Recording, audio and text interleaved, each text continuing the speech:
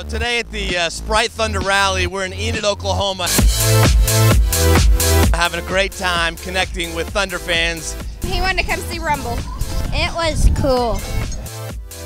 We've got a variety of things for fans to do, from uh, face painting, character artists. Uh, we got some shooting going on, some great clinicians. We're just working with the kids, having a lot of fun, uh, running some drills and skills, working on some dribbling, some shooting, little defensive drills. Thunder Girls and Rumble are here. Just seeing all the Thunder fans and just seeing how much fun they're having. It's a lot of fun. It's awful hot, but you know, a lot, lot of support, a lot of support for the Thunder, and it's great to see. Enid's a great place for us to be. We love getting out here with our fans. Uh, they're the best fans in the NBA, and this is the chance for us to pay them back.